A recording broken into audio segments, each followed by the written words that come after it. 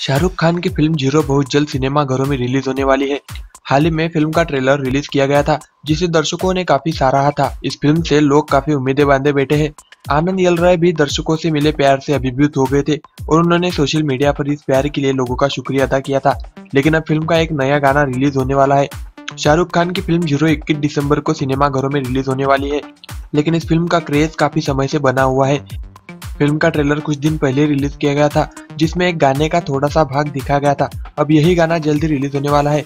Report की माने तो इस गाने का नाम मेरा नाम तू है और ये गाना अगले सोमवार को, यानी 19 नवंबर के दिन रिलीज़ किया जाएगा।